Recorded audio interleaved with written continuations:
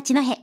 今週のお客様は、八戸ポータルミュージアムハッチで働いている清水照弘さんです。清水さんどうぞよろしくお願いします。お願いします。はい。清水さんはご出身はどちらになるんですか？北海道です。北海道、はい。北海道もまた広いですけど、でっかい道なんですよね。でっかい道のどこで、でしょう、でっかい道の足呂町っていうところから、アショロ町。はい。で、北海道にはいつまで？北海道には高校までいました。なるほど。うんじゃあ高校までは北海道にいて、うん。その後まあ、大学行ったり就職したりして、で、現在はハッチで働いていらっしゃる。そうなんです。ねえ、うんハッチ、清水さんいらっしゃったのいつでしたっけ？この、なんと4月なんですね。まだじゃあ、9ヶ月ですか9。ヶ月ですね。どうでした ?9 ヶ月。なんかでもあっという間でしたね。あっという間ですごくこう、まあ皆さんすごくよくしてくださるので、ハッチのスタッフの人も、うんうんうんはい、すごい楽しく、はい。飲み会が多かったなっていう記憶が。ノミニケーションです飲ね。みニケーションすごかったですね。八ええ戸ぴったりじゃないですか。横丁いっぱいあって。そうなんです。飲むの大好きなので、最高の職場ですね。そうか。はい。ねえそんな4月から働いている八戸ポータルミュージアムハッチですけれども、改めてまあもう皆さんねハッチに行ったことはあるっていう方の方が多いと思いますけど、うん。ハッチについて改めて教えていただきたいんですけれども、はい。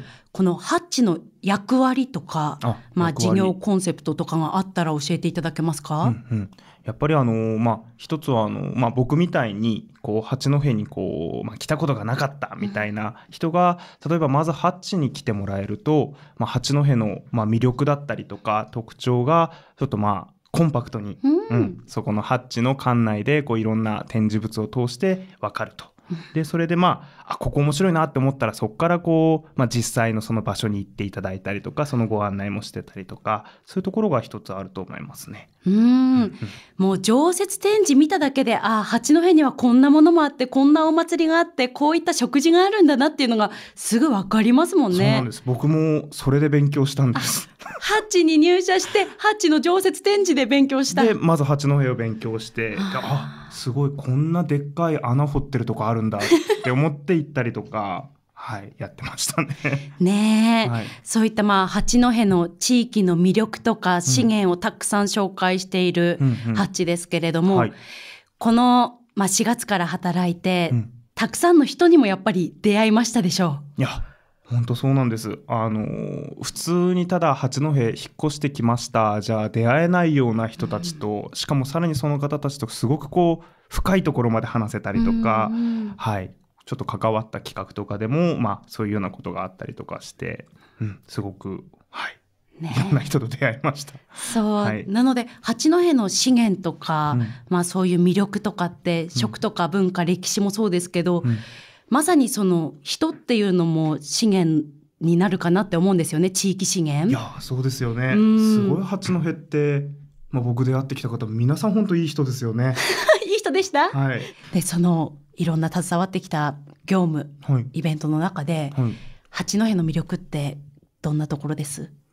ああやっぱりあの一つはあのさっきもちょっとお話ししたんですけど人がやっぱりいいですよね。あの本当になんて言うんですかね。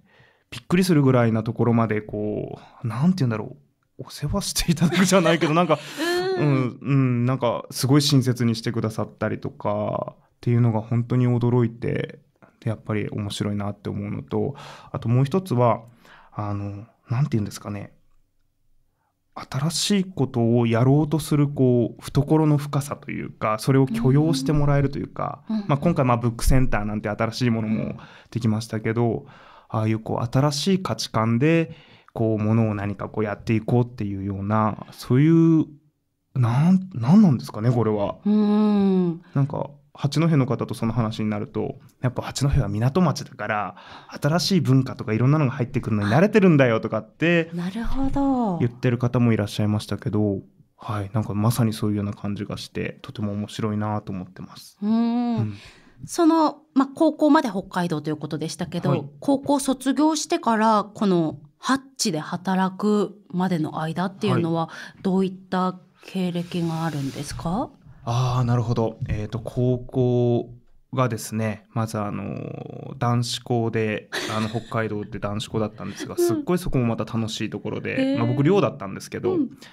あのひたすらまあ田舎から函館という、まあ、僕の実家よりは都会なのであの遊びに行ってたらすっごい楽しくてですね遊びすぎてしまいましてでそれであの浪人をいたしましてですね。であの都会の東京の方で浪人をし始めるのが始まりで東京の方に行きました。なるほど、北海道からはい東京へ、そうなんです。で、そこからまあ、あの、いろいろやって、あの、うん人生に迷って右往左往しながら、最終的に東京であの、大学に入りまして、うんはい。でそれから、えっ、と、大学卒業してから、まあ、青森のにある青森県立美術館に就職するっていう縁で、ちょっと青森県に初めて、別に親戚とかいないんですけど、青森に。うんはい。っていうのが始まり、青森県との出会いがそこでしたね。うんはいえ大学っておっしゃいましたけど、はいその大学は普通に一般大学から就職先が青森県立美術館？あ、美術大学を、あはい。美術大学そうなんです。東京の美術大学ですよねそうですね。あの、もともと僕は、あの、実は、えっ、と、美大でも、あの、絵描いたり、あ、まあ、自分では彫刻をやったりしてたんですけど、でもそれ以外にこう、なんていうんですかね、美術教育という分野をちょっとずっと勉強してまして、うん。で、それはあの、要は何かっていうと、何かこう、子供たちがですね、生きる力をこう育むためにこう美術的なこう見方とか美術的なこう考え方を使ってどうやってこう子どもたち力つけてってくれるかなみたいなところをちょっとやってたんですけどそれがですね実はあの僕地方でよく日本全国学生時代から地方でいろんな企画やってる中でちょっとまあ地方でそういうことをやる面白さみたいなところをちょっと感じましてはい、それでちょっとお世話になることになりました。そんなまあもともとね北海道のご出身で、はい。でハッチで働き始めてから、うん。八戸にお住まいなんですよね。そうなんです。ね。はい、うるいちに住んでおります。うるちですか？はい。まだ10ヶ月も経っていないですけれども、はい。八戸に住んでみて、まあ、魅力いろいろ伺ってますけれども、うん。改めて八戸にうん。住むことのメリットって何ですか、あ、住むこと。う、うんーん。えっ、とですね。まず、なんて言うんでしょう。町としても、すごくこう、いいところは都会だし、うんいいところは田舎だし、なんか、それが、すごく心地よいっていうのが、もうなんか純粋な、今、ふと聞かれて思ったのは、それが一つと、まあ、食べ物美味しいし、みたいなところもあるんですが、あとやっぱり、なんて言うんですかね。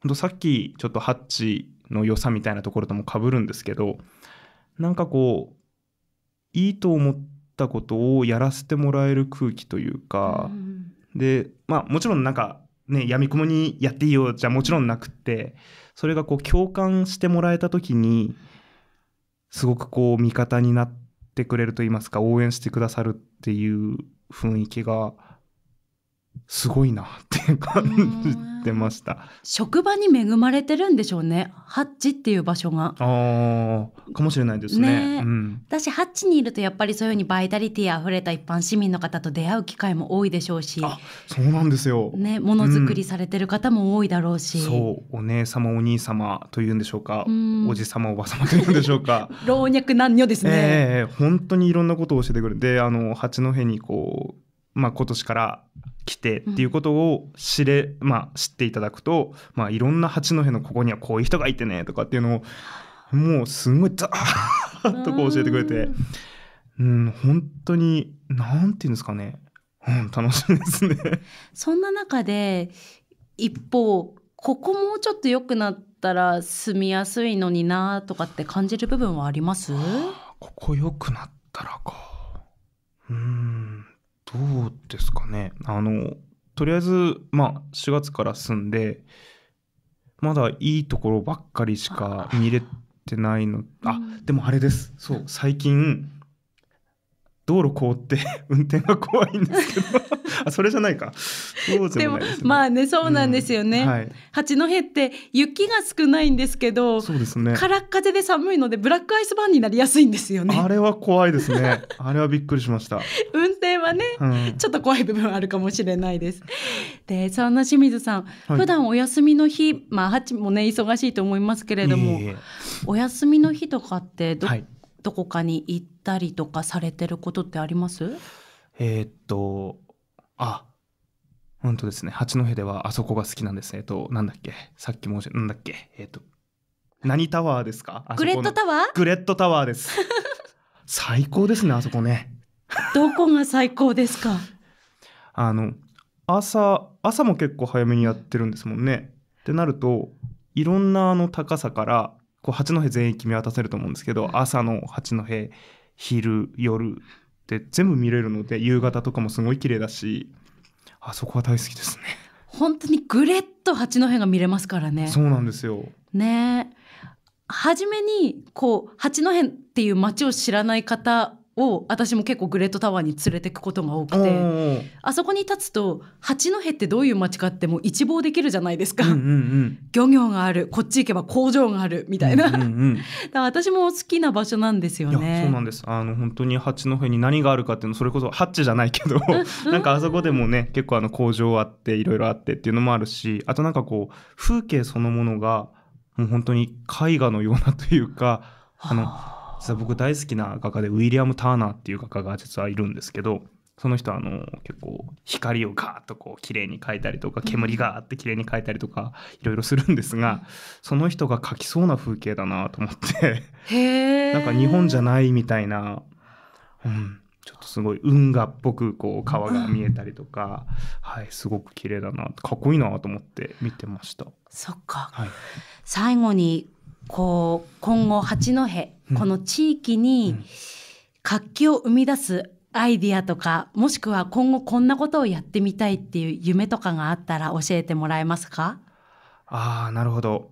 うんとそうですね。やっぱりあのでももともと僕があの子供たちと一緒にいろんなことをやるっていうのをずっとやってたのででハッチ来てからまだそれが、あのーまあ、入ってすぐでできてないので、ちょっとまあそういうこと。まあハッチなのかそれとも僕ハッチ以外でもうん。実はあのちょっとそういう活動をしているのでそっちの方なのか。美術教育という活動もされてる？ハッチ以外で。子供たちとワークショップやったりとか。へえ、はい。たまにたまにですけど。どういった場所で？えっと、青森県内でもありますしあの学校でとかあ。とは学校の授業をさせてもらうこともたまに小学校とかでありますし、はい、あと先生方の図工部会とかで、まあそういうことをやらせてもらったりとか美術館県外の美術館とかもあるし、はい、ちょっとやっていて、そうですか、はい、そういうのもちょっと八戸でやっていきたいなとは個人的な希望としてせっかく住んでるので、はい、思ってます。はい子供のうちからそういう心にゆとりを持つこととかなんで美しいんだろうなんでこうなってるんだろうって考える力とかああそうですね。ね、うんうんそういうのを身につけてくれたらまたいろんな街の見方っていうのも変わってくるんでしょうね。ああそうなのかもしれないですね。うん。うーんうん、今後の活躍期待してます。はい、ありがとうございます。ありがとうございます。さて、2週間にわたってたくさんお話伺ってまいりました。先週、今週のこの時間は、八戸ポータルミュージアムハッチのコーディネーター、清水照弘さんでした。清水さんどうもありがとうございましたありが。とうございました。